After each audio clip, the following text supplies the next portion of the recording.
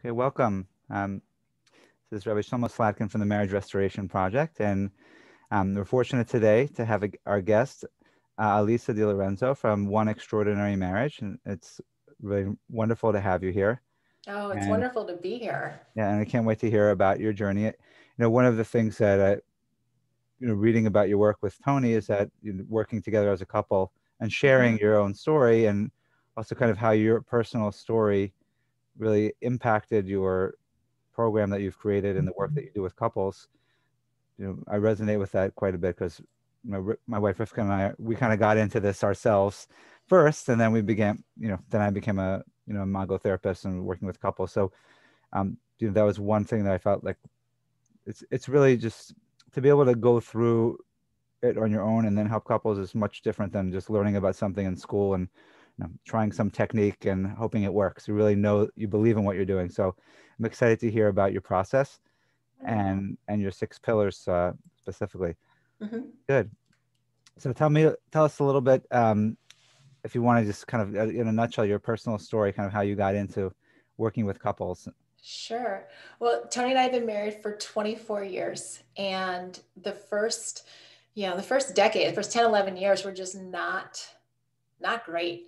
Um, we really struggled. We we struggled sexually. We struggled to emotionally connect.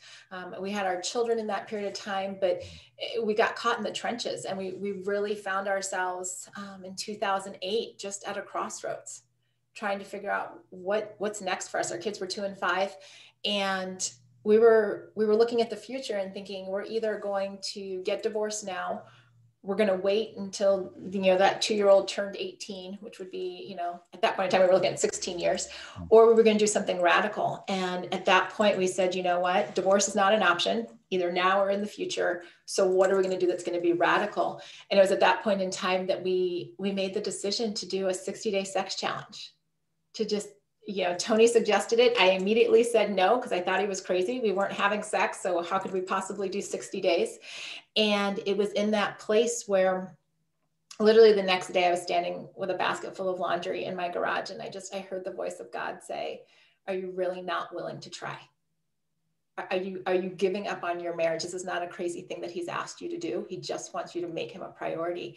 And it was from that moment when I, you know, Tony came home from work and I said yes, that literally everything changed and has been, you know, since that point in time in 2008 that we, or yeah, in 2008, we've been focused on not just changing our marriage, but getting to a place where we could actually equip others to transform their marriage as well.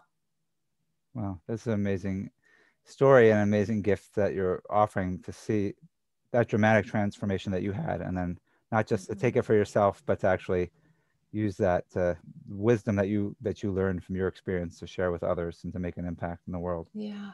It's been it's been quite a journey. I mean we never we never anticipated that what started there in 2008 would be what one extraordinary marriage is today. It was really one of those things where um, we did our sex challenge. We completed 40 out of 60 days and then we were invited to speak at a marriage conference and we shared that story. And then people were saying, well, what's next? And, and there wasn't a what's next at that point in time. We hadn't thought past what we'd already done. And it was from there that in January of 2010, we we started the One Extraordinary Marriage Show and we've been podcasting every week since wow. since 2010, beginning of 2010. Oh, that's a long time, 10 years. Yeah. Almost 11 years. Consistency to, you know, that's a hard to to, to do that consistently. It's one thing to mm-hmm. do it consistently for so many years. It's that's amazing. Now, were you coaching at the time when you were speaking at that conference, or that someone just found you, or how did that work? I was. It was actually it was the marriage conference for the church that we were attending at the time, oh. and our when we had started the challenge, we had notified our marriage and family pastors and just said, "Hey, we're doing this." We let them know just as a form of accountability um, that, that we were taking this challenge on in our marriage. And so, as they were preparing for the conference the next year, they're like, "We just want you to share your story. Just, just share it." And the coaching didn't actually come about until 2013. Um, you know, as we started the podcast, people would send us emails and, and ask for insights and, well, how did you and Tony navigate this? Or, or how did you, you know, break through not being able to initiate? Or, or how do I have these conversations? And I kept hearing all of these questions. And so then it really became what what's next right what is the next you know evolution of what we're doing more than just ha- doing a podcast once a week that's when i went got certified as a coach and started an incredible journey of being privileged to work with people and, and in this most intimate relationship. That's great. And how do couples typically find you? Through through the podcast? Is that how they initially get to you? A lot of people do find us through the podcast um, with so many shows. Friends share shows, they, they see something on Instagram, they listen to a show. That's the primary way. Um, and it also brings a level of comfort because they've heard my voice. Um, they've got some idea of my personality. And so by the time you know they go through the application process and we start coaching, we literally hit the ground running in our very first session because they know me actually better than I know them. And so it, there's a level of trust that has been built up just by listening to the podcast. Yeah, that's important because you know it's especially such a delicate issue. There's there's often a lot of resistance, especially well, usually one one spouse is a little bit more resistant than the other. Sure. I don't I don't know if you're work are you working with both both couples or sometimes you're working with one one spouse. I, I do both. Uh, partly because, like you said, sometimes there's resistance from one spouse that isn't quite ready to jump in. And sometimes I also find with my clients that somebody just identifies an area of themselves or of the marriage that they want to work on, and they know that they've just got to get focused on this themselves, and they'll just start coaching. And then sometimes down the road, their spouse will join them, but not always. Yeah, so it can work either either way, but meaning the work that you do with the individual can can impact the whole overall relationship because when one person changes it kind of shifts the energy mm-hmm. 100% believe that but it's good because if they already have, are following you then they kind of bought into your process and mm-hmm. it makes it much easier to work that's wonderful yeah, yeah. it does. headache if you're pushing up against somebody is like especially when a couple comes one if one person's kind of always said there's a dragger and a draggy even if and if one person's kind of pushing up against you the whole time it's like I mean, that's where you need to go in the work, but it's it definitely saves time when you have willing participants and committed participants. I would agree, and you know, it's amazing. It's amazing even just what happens when somebody takes action. You know, like you said, there's the draggy and then the dragger, um, but just that first step of let's fill out the application of let's just have a get to know you phone call. Let's just see if this is going to work for us. It's amazing how much transformation can happen with a couple just making the decision yeah. that they want to get help. Um, you know that's really i think so much the initial barrier. Are we going to do something? Right. That's that's crucial because that's it's that commitment to your relationship to make it a priority to actually do something about it instead of just well, should I, should I not? I'm not really fully into it. I'm not fully invested. If right. you're not fully invested, you're not going to, not going to go anywhere.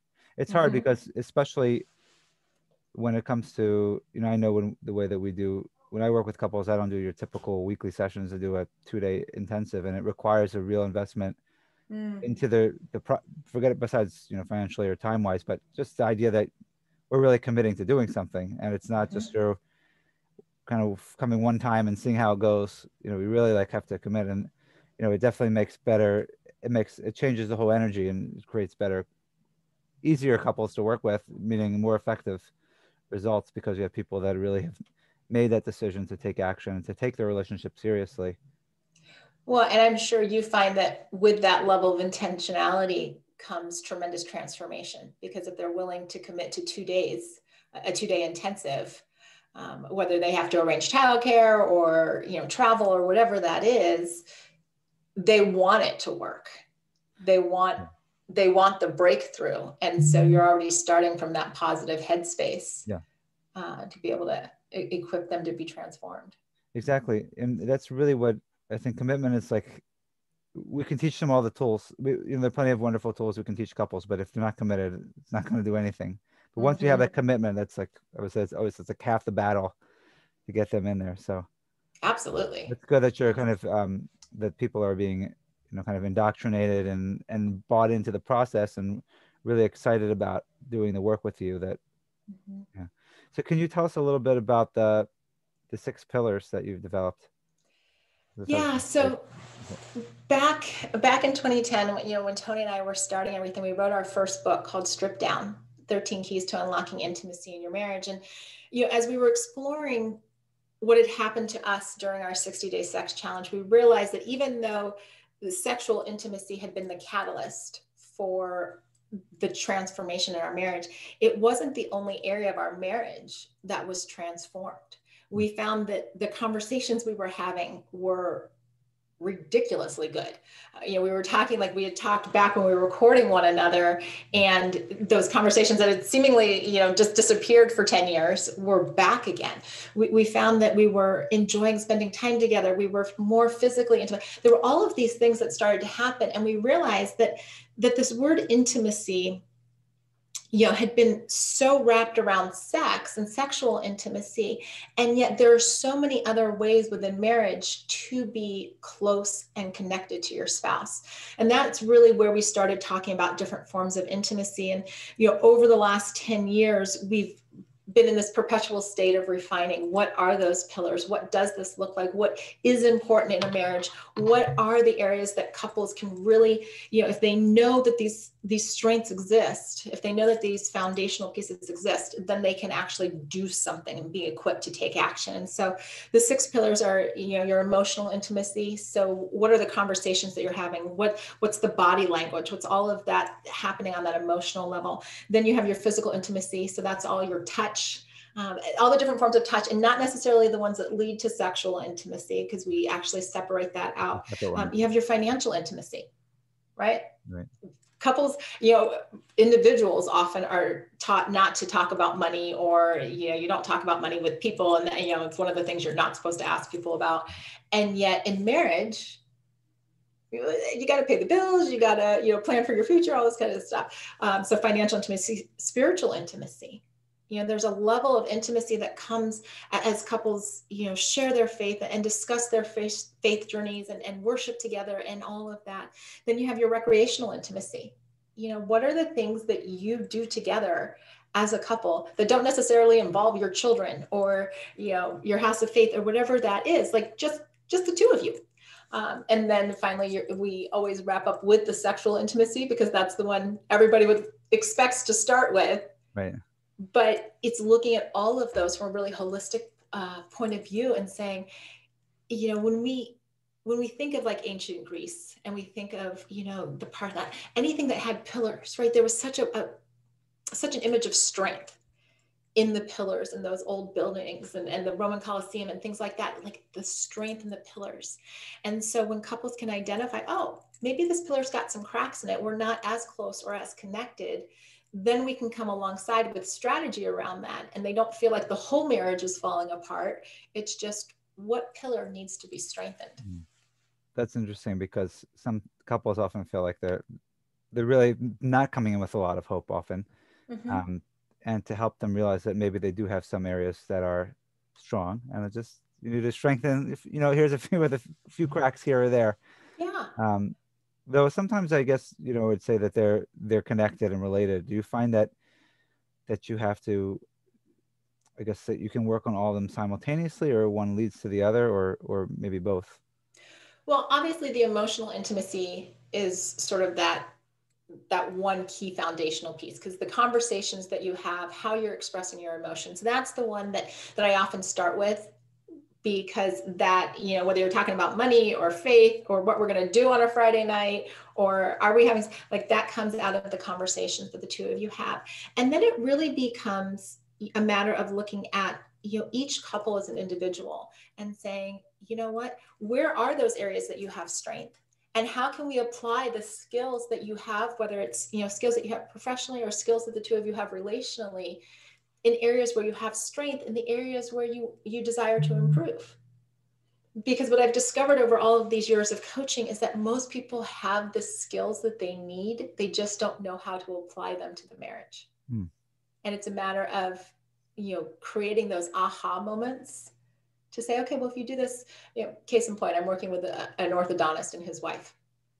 Here's the guy that spends all day making tiny little adjustments in kids teeth to over time create a long-term beautiful perfect smile. When i was talking to him the other day i said you know all we're trying to do is the same thing in your marriage. Make tiny little adjustments over time just like you do in your office. And you could see the light bulb go on uh, that he doesn't have to you know in a broad brush change everything. He doesn't have to cross the finish line tomorrow. He just has to make incremental little changes and so being able to connect the dots for him and he's like oh i can do this yes, because that's what i do on a daily basis so making it doable as opposed mm-hmm. to this, this daunting task. It's like, well, how am I ever, I'm ever going to accomplish this? Correct. It's not an overnight success, but it's a more of a process that you have to just mm-hmm. put in that effort. Yeah, Absolutely. but you're saying that the emotional, yeah, emotional intimacy is definitely the basis for all of them. Because if you don't mm-hmm. feel emotionally connected and safe to be able to open up and share and to feel heard, and you know. Nothing else is going to happen. You can't get anywhere, and it's interesting because a lot, a lot of times people ask, you know saying they have physical intimacy challenges mm-hmm. and you know i'm i'm not i mean obviously it comes up as working with a couple but i'm not spec- you know specifically working with you know, as a sex therapist that's not my credentials but i always say that if you work on the emotional intimacy if you can feel connected you can feel safe with each other then mm-hmm. you know unless there's some trauma there um, which is another piece but you know if, if that's really what's getting in the way just not feeling connected not feeling close that developing the emotional intimacy can help you lead to feeling more comfortable and bringing back intimacy in the other areas mm-hmm. I, 100% agree i've often told folks um, it's very hard to be physically naked and 100% present if you don't have the emotional connection you, if, if you don't feel that you can be vulnerable yes anyone can have sex but if it's truly intimacy it's going to have that emotional component to it. And would you say that's probably more so for women? You find that more so for women than men? More so, but it's been really interesting um, to find out over the years just how many men actually struggle with that hmm. as well. You know, maybe because they were never taught to share their feelings, or I'm working with a couple right now where he was, he never had to apologize and they've experienced something in their marriage where the wife desperately needs to hear an apology. And it, I was talking with them and, and I asked the husband, I said, Have you ever, like when you were a kid, did your parents make you apologize? And he was like, Never. We just didn't talk about things and then they would just blow over.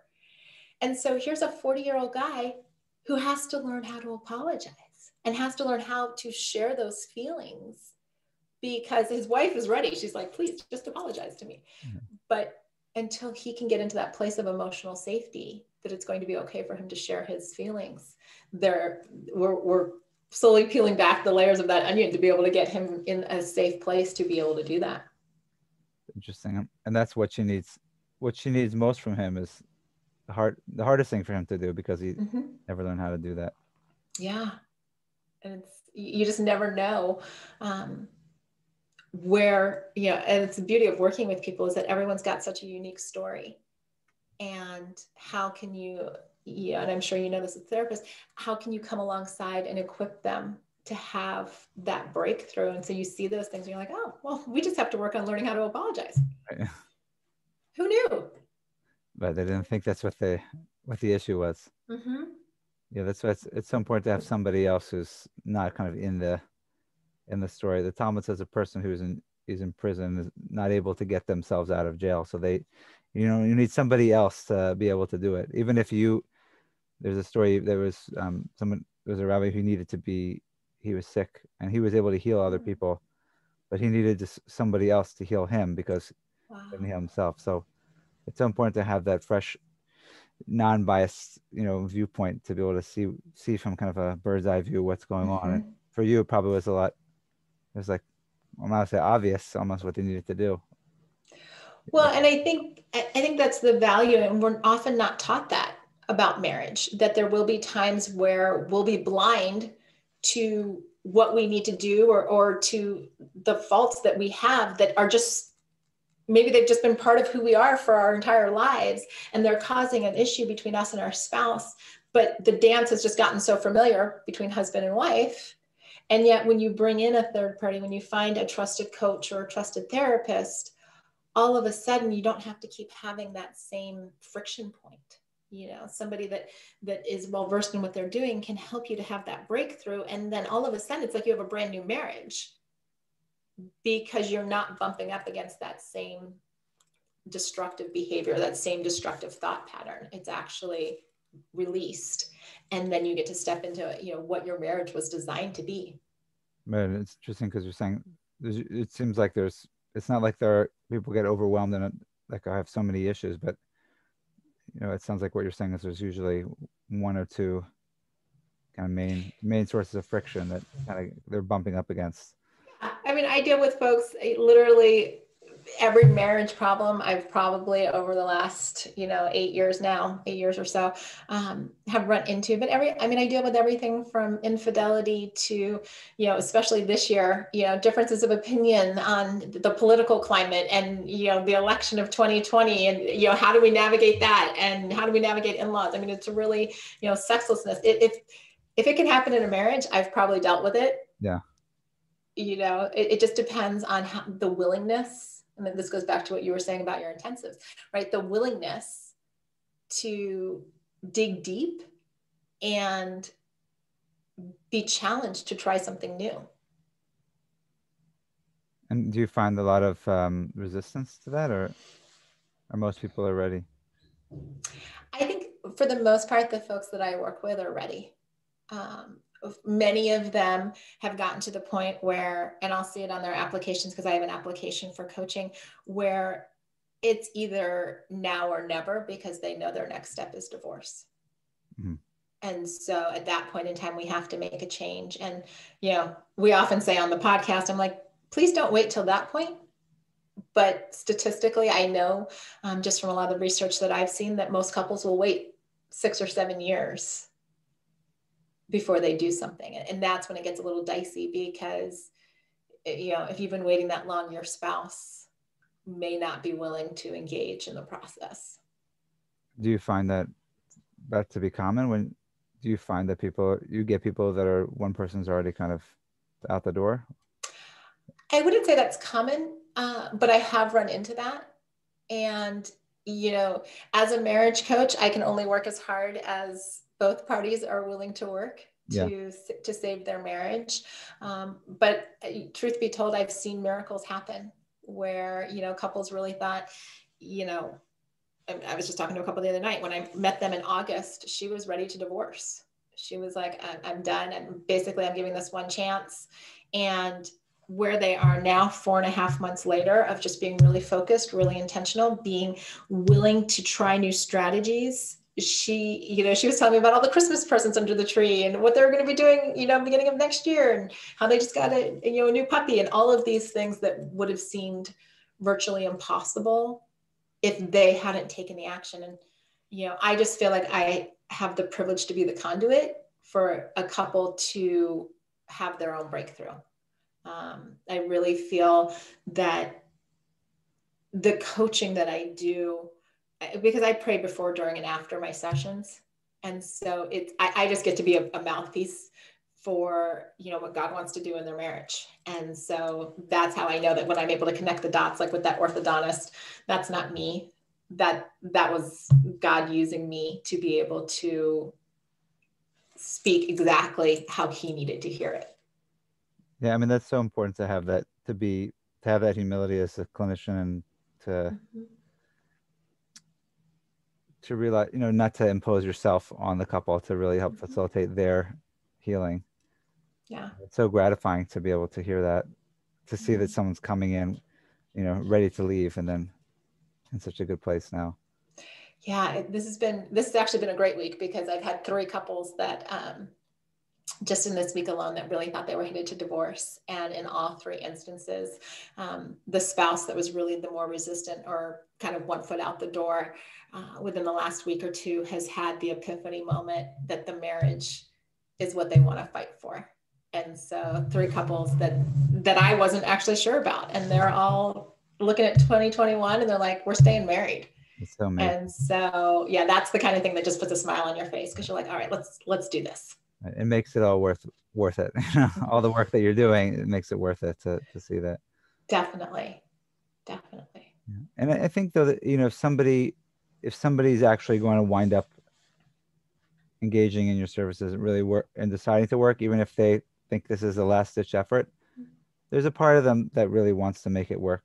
They just don't couples don't have the hope. They don't really see how is it going to be any different. And that's mm-hmm. you know, it's hard to for them to see that. But the challenges the people who don't the people who don't come in, the people who mm-hmm. trying to convince them or you know when the spouse is trying to convince them and they don't get help, those um, you know, of course, it makes it much more difficult, even if one person's trying to work on themselves, if if other person's completely checked out, or or if they're actively having an affair, mm-hmm. it can make it really hard. Well, and I think you used a really significant word there. You used the word hope, and one, this has been a really tough year on a lot of people. A lot of people have felt hopeless.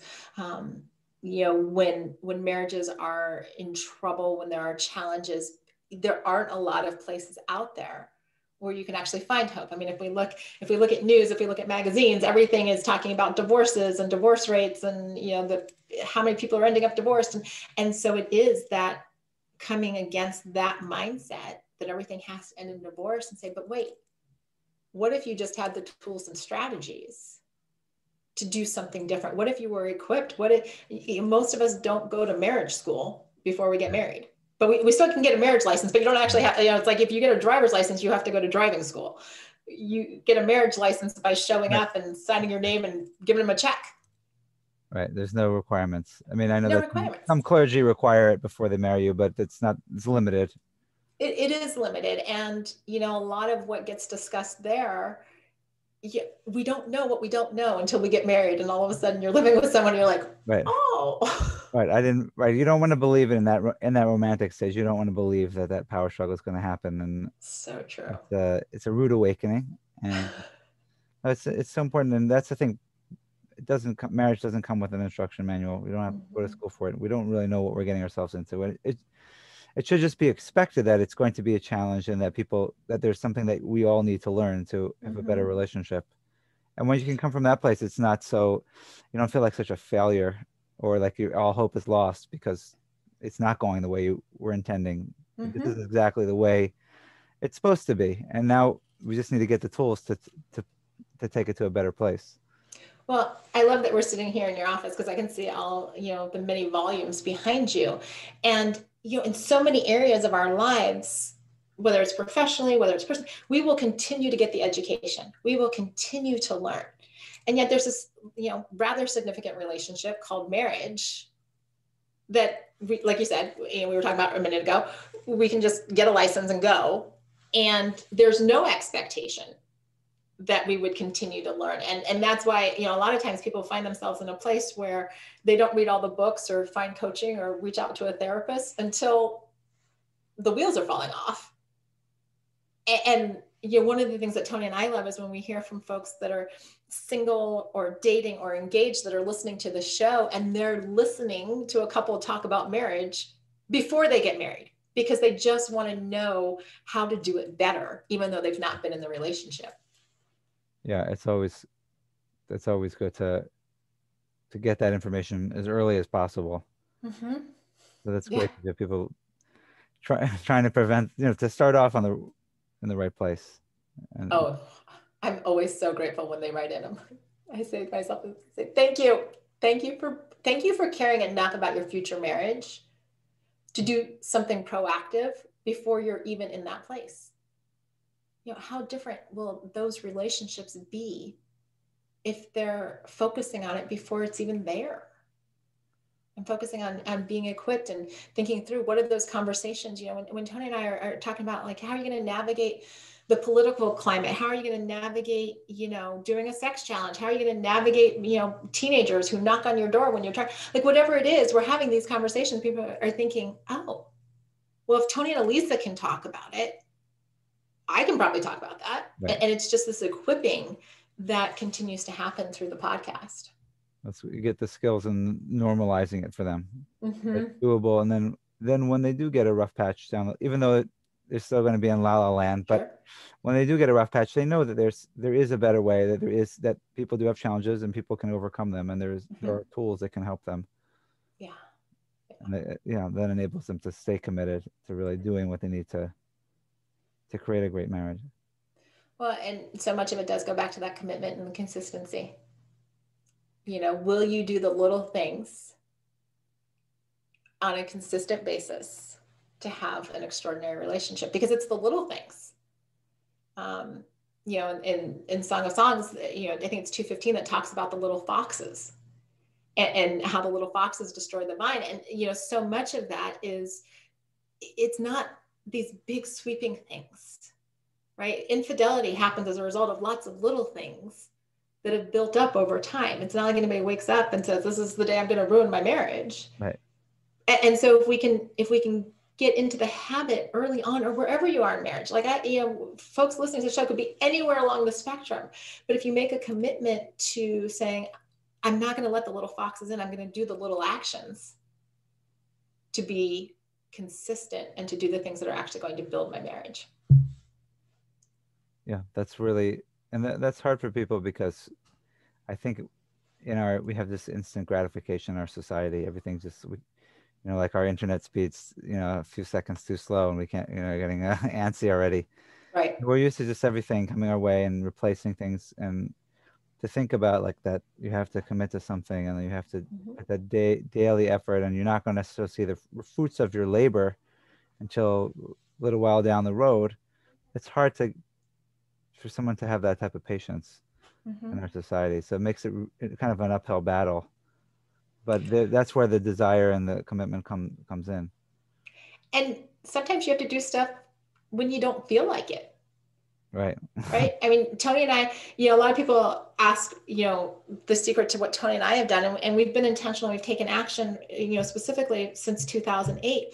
But the one thing that we've done for almost 11 years now is once a week, we have had a conversation. We happen to record ours and, and put it out for the podcast, but but we developed the emotional intimacy by making time to talk to one another. And we haven't missed a week. I mean, we we did it when I was going on a mission trip. We actually recorded two shows. Like this is what we what we've woven into our fa- the fabric of our marriage. And there's it, with the instant gratification society, we've lost the the desire to be consistent over time. But it's consistency over time that actually creates extraordinary. It's not short bursts of being amazing. It's what will you do? I mean, if you're going to be married to somebody for 40 or 50 years, the short bursts at the beginning are going to be a distant memory at 50 years. It's what do you do over the length of that time? It's interesting because there's um that about consistency. There's um idea in the the Talmud talks about when a person goes to the when they go up to the world to come and they ask them you know what a few things about their life and one of the things they said did you set uh, fixed times to, for study for studying the oh, Torah and it doesn't say like, did you learn all all of the Torah? Did you understand it all? Did you do you know what did you accomplish? Did you set fixed times? That's the idea is that it's that consistency that you're making it because you're making when you make something consistent and you set a time for it, it prioritizes it. It shows that mm-hmm. this is important to me. We said this with date night for you know. Yeah. You show like even if we miss it one week, but the idea is that every you know Tuesday night at eight o'clock you're going out. That means your marriage is important enough to set aside time in your schedule to make it happen. And even if you don't succeed every time, but you have that idea, so that's just really resonate with that. It's so it, it's so important and it's so challenging, but it's that's what's going to get you. You know, it's the turtle that kind of win, wins the race. That daily oh, yeah. effort, yeah. I like that. I hadn't thought about the tortoise yeah. and the hare, but yes, exactly, exactly. Great analogy. Yeah. But is there is there any more, Lisa, that you want to share um, about the six pillars? Well, I would encourage folks. I mean, you can learn all about us at oneextraordinarymarriage.com, but you know, to really dig into the six pillars of intimacy and and to start thinking about it as just an alternative way to look at your marriage, right? It, it, it's a tool. We often talk about helping couples to build out their toolbox, right? Not every, you know, when you think about the different pillars, what, what you're going to do to build your emotional intimacy may not be the same thing that you do to build your recreational intimacy but but approach your marriage as you know what this is our relationship and we've got our set of tools for our toolbox. And we're going to look at these six pillars as ways to strengthen our marriage as ways to literally lift every part of us up so that you know 30 40 50 years down the road we're, we're sitting across the table from one another and we're like we've had an incredible marriage. We have focused on one another. We you know to use the word that you just used we've prioritized one another. And, and these six pillars really just equip couples to to learn different ways to prioritize one another. It's great. I like how you you really break it down. It just makes it it's doable. It's not like mm-hmm. you know, just six you know, only six areas i have to focus on. It's not like a hundred things i have to do. Just, know just like what am i doing in these areas? Check gotta kind of checking yourself to see what you're doing and and really committing to focusing on on those and yeah. seeing how that creates that holds up that beautiful edifice that you're trying to create. Mm-hmm and the truth is is you know when you look at those six i mean because people will be like well why don't you have like parenting intimacy? Well parenting intimacy falls into your emotional intimacy it falls into your physical intimacy. You know you you, you can navigate virtually any area. We have yet to find one that you can't. Any area of marriage or life or what life is going to throw at you while you're married that isn't going to somehow fit into one of the six pillars or a combination of them because they're really interwoven. And so if we can simplify marriage people can really mm-hmm. step into this place of saying, I can do this. Yeah. We've just created a, culture collectively, I think, where so many people say, This is hard. I can't do this. I'm just going to throw in the towel. And, we really want to come against what's happening in you know with the divorce rates we want to come against people saying you know i can't do this and saying wait you can let, let's figure out where where you've got your cracks and let's let's equip you. You know it's not just the knowledge of the six pillars but the programs the coaching the podcast all of these other things that come around it so that they you know start having hope again. Yeah, yeah. you know what? We can do it's why we have a hug at the top of every show just to hear from somebody in the one family who has figured out how to do something. And now they have confidence. And once you have confidence in your skills and abilities you you can take on the world. Yeah. or you know simply have an extraordinary marriage. That's great. Well it's been a pleasure hearing from you today lisa. Really uh, again oneextraordinarymarriage.com mm-hmm. and if you want to find out more um, it's been wonderful hearing from you. I really like your you know what you've shared and what i've read about your program. And it's just it sounds like you're doing really amazing work with couples. And oh, thank you. God should bless you to continue with tony to do the work that you're doing. Oh I received that. Thank you very much. It's been a pleasure to be with you. Welcome. It's so much.